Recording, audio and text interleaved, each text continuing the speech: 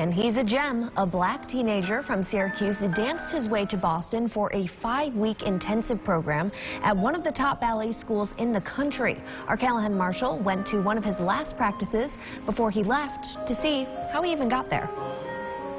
Now watch. You can feel the love when he turns, points his feet, and stretches his arms.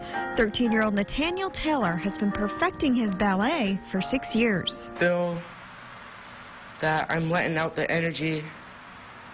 That say if I'm mad, I'm letting that out through dance. This passion led him to an experience of a lifetime. For the next five weeks, he'll be at one of the most prestigious dance schools in the country, Boston Ballet.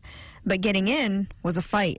Was hard because they paired me up with older people, so, but I kept up. Here, look at the post. And he broke barriers. What I find very unique about it is really actually being from Syracuse and getting into the school as a young man, and then as a young black man from um, a, a, young, you know, man from Syracuse specifically, because um, you, the opportunities for girls are readily available to where these opportunities aren't you know, readily available for young men. But the practice space, wherever it may be, makes him forget about all that. When you enter a ballet studio, there's nothing to overcome.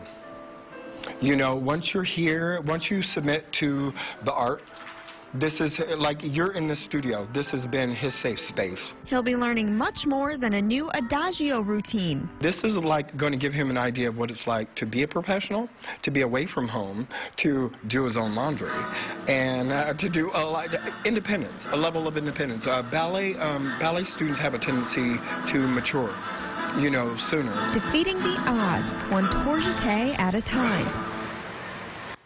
We're gonna have to do that again. Awesome stuff. Taylor will be practicing about 30 hours a week. It's like full-time job.